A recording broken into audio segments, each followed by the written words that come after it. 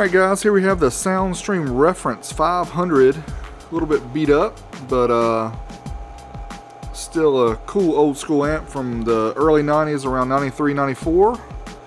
These were classic Soundstream designs, and you can see we have it in the high powered mode. And what we're going to try now is an 8 ohms mono, which will give you an idea of what, I'm sorry, an 8 ohms, yeah, 8 ohms mono, but we only have one channel hooked up.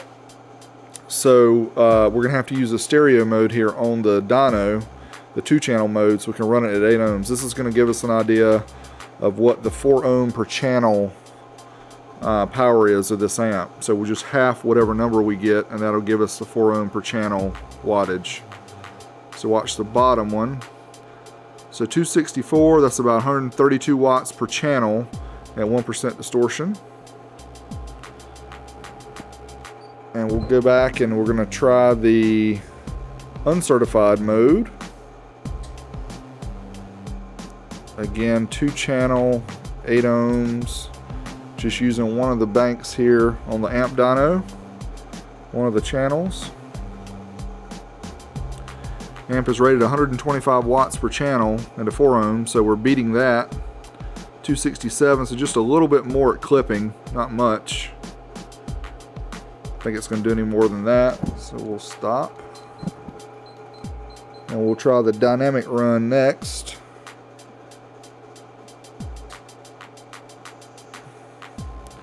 Again, two channel, 8 ohm, start dyno.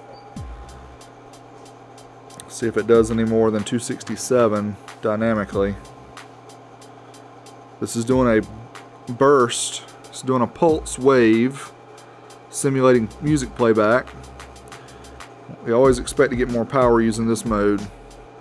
329 watts, so that equates to um, what, almost 165 um, watts, 164 and a half watts per channel in the burst mode. So it gives you a little bit of idea of headroom. So there you go.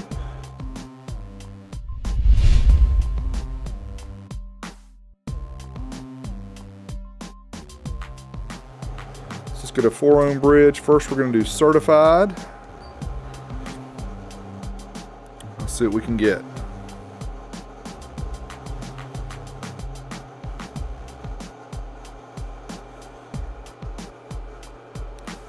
It's like 371 watts at 1% distortion, 13.81 volts. Okay. So let's go back and let's try the uncertified run, mono at 4 ohms again. Let's take the track back, start dyno, start the track. 4 ohms mono, uncertified. This is up to clipping.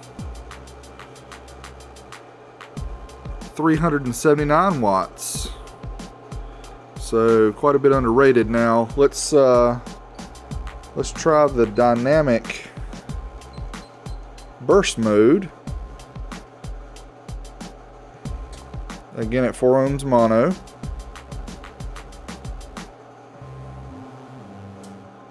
Start dyno, start the track, let's see what it does. It's rated at 500 watts in a 4 ohms mono.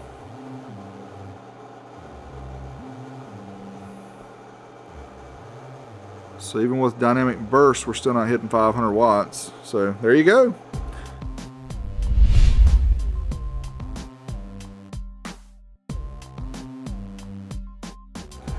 So we'll do a certified run first mono at 2 ohms. Start dyno and start the track. Let's watch the light show. Again, it's rated at 12 volts at 500 watts. So 490 watts at 13.59 volts. You see that? So a little less than uh, a little less than rated, but not too bad. Let's go back and try the uncertified run at 2 ohms mono.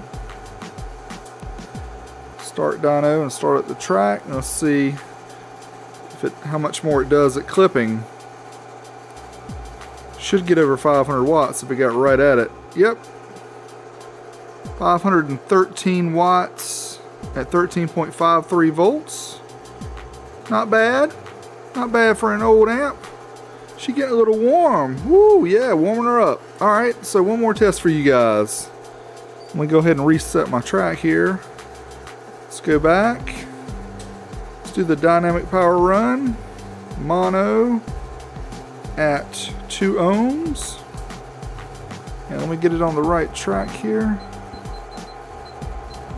Alright, start dyno, start the track. Let's see what she does.